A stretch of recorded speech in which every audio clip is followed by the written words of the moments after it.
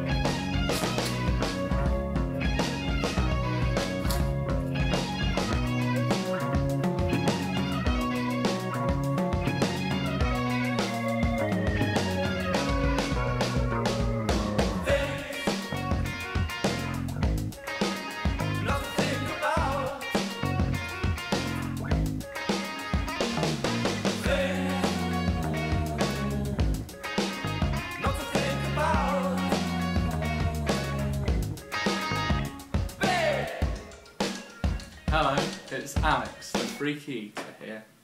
Now, today I did a video on toast with toothpaste.